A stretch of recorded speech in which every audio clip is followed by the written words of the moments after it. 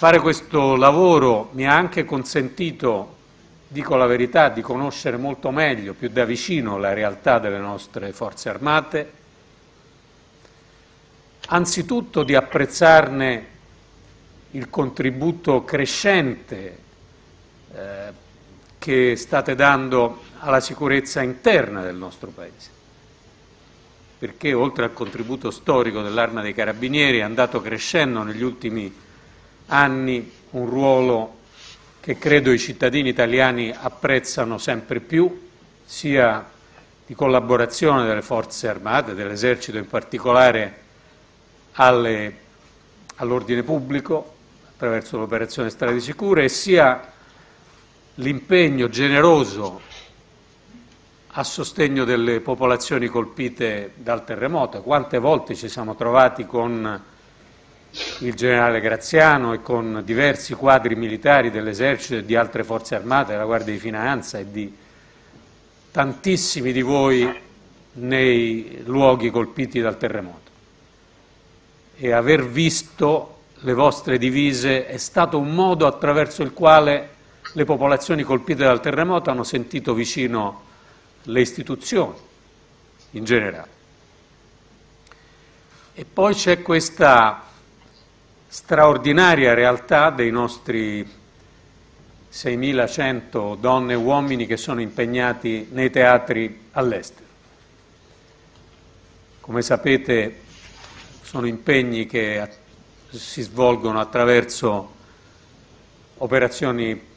Nazioni Unite, operazioni Unione Europea, operazioni Nato, operazioni bilaterali, multilaterali,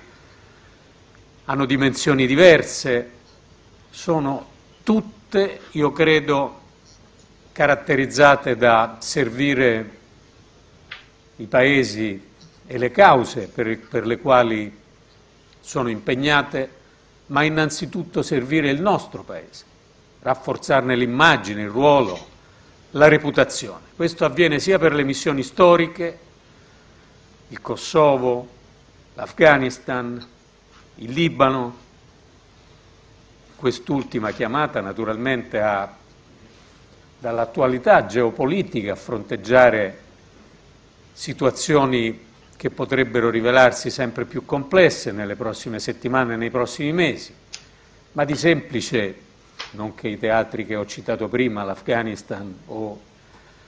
o i Balcani siano del tutto pacificati, tutt'altro. Le missioni storiche la grande missione che negli ultimi 4-5 anni ha visto l'Italia dare il contributo numericamente più rilevante dopo quello degli Stati Uniti al contrasto a Daesh in Iraq attraverso le nostre presenze sia in Iraq sia in Kuwait e sia dal punto di vista logistico aereo eh, nella base eh, negli Emirati questa realtà, assieme all'addestramento delle forze kurde, ha fatto riconoscere a livello internazionale il ruolo delle nostre forze armate e dell'arma dei carabinieri come fondamentale in questa azione di sconfitta di Daesh che ha, almeno dal punto di vista del controllo territoriale, raggiunto un successo nel 2017 e oggi siamo impegnati naturalmente nella fase non certo più facile del contrasto alle possibili ripercussioni, i foreign fighters,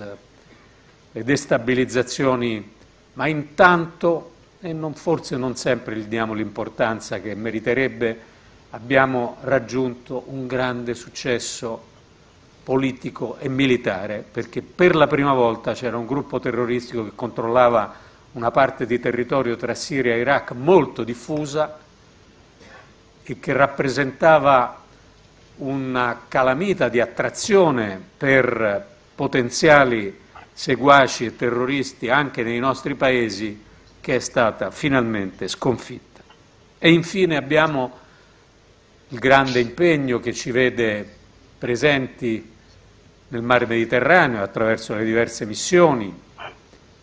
europee e NATO che ci vede presenti in Libia, che ci vede presenti in Africa in generale, sui temi del contrasto al traffico di esseri umani, del contenimento dei flussi migratori, della costruzione di capacità